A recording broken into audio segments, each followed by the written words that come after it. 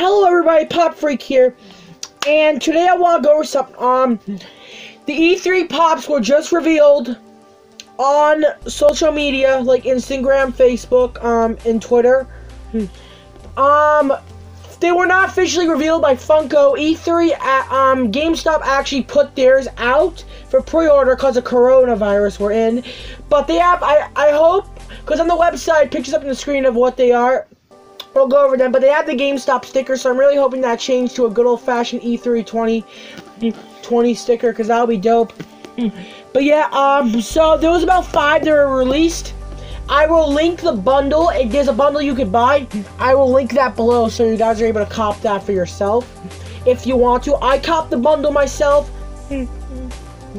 It's really not bad that bad at all. It's only like 67 bucks. Um, so yeah, the reason I got the bundle was mainly because to unbox and review the pops with you guys. And yeah, I am actually kind of running out of video game of a video game section, so floof, oof. So yeah, um, okay. Anyway, but number one we have Tyrael.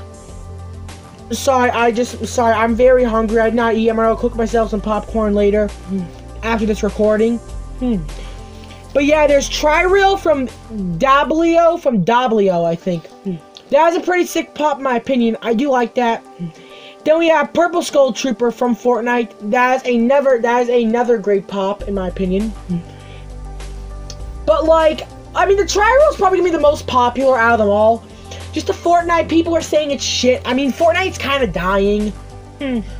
It's getting old now. I, I don't know. I'm really not the biggest fan of Fortnite. That's all I'm trying to say.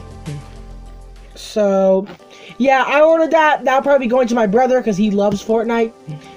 But then we have Sheogorath from Sheogorath from Skyrim.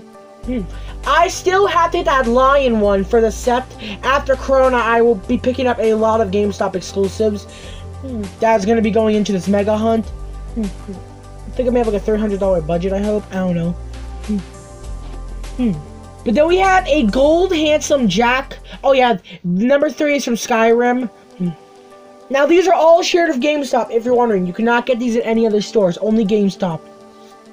The handsome, the handsome Jack Gold is from Borderlands 3, the new one that just came out, and that is pretty sick in my opinion. It almost looks like they blurred his mask, his um, it almost looks like it blurred. They blurred out his mouth, but that wasn't the case. They did like what they do with this like his mouth is missing and stuff, which I find pretty cool. that Funko is doing. And then we have a Leshen from The Witchers 3. It is a 6-inch figure. Now, you could get that from a video game moment, but now they made to an actual 6-inch pop. Now, I will be picking that up. I still need to get the, um, the, the movie moment version. That's just one I haven't picked up yet.